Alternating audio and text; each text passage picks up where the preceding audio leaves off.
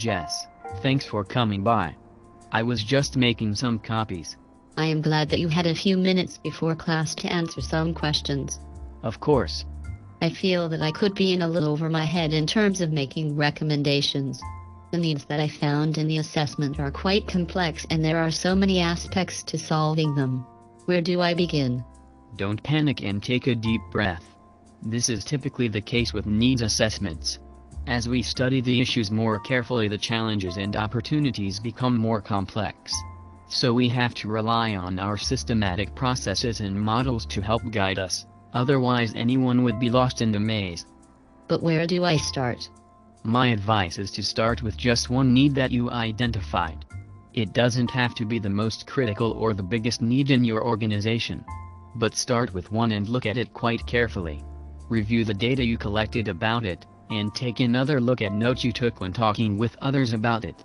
Once you feel that you really understand the need, use a tool like Wedman's Performance Pyramid to start breaking it down.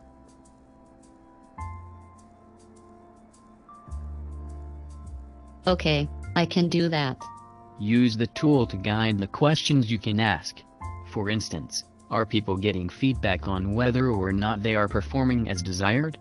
If not, then that could be a contributing factor. Then ask do people have the tools, resources, and a supportive environment for performing as desired? If not, then you have another factor. And you can move through the whole pyramid asking similar questions.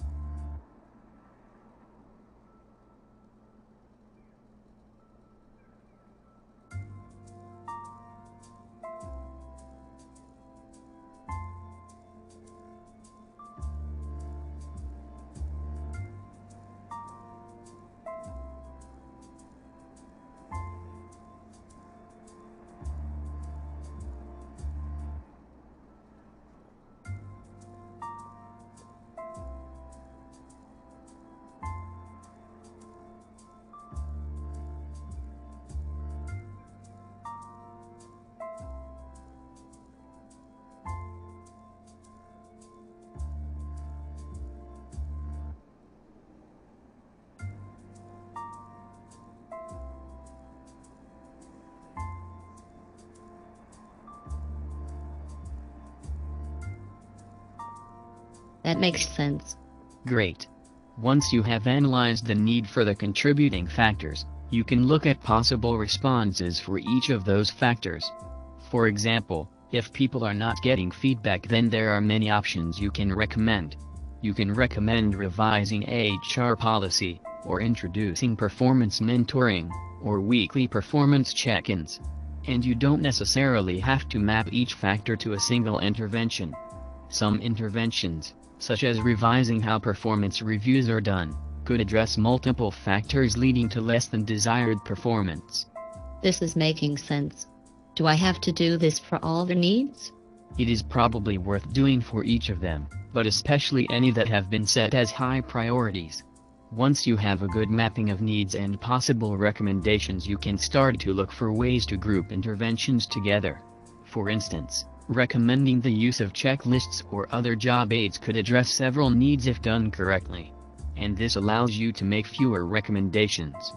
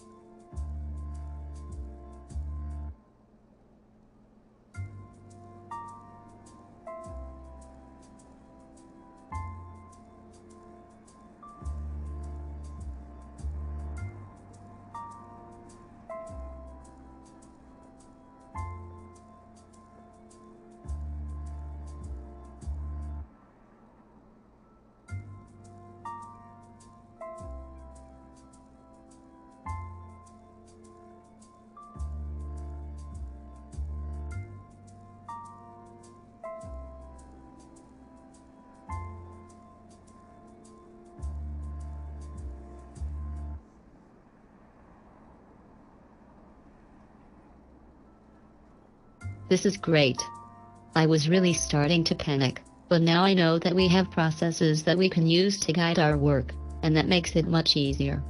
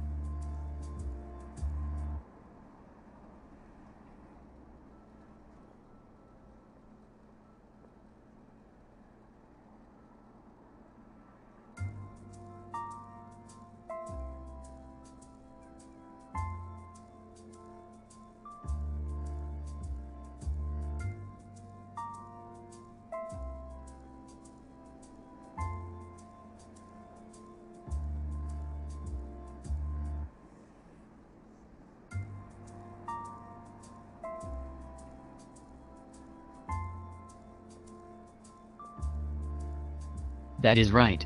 There are no easy solutions to complex challenges, and we can't say if X is the problem then the solution is always Y. So we have to have systematic processes to guide us through flexible steps, leading us to make recommendations that are appropriate for our context.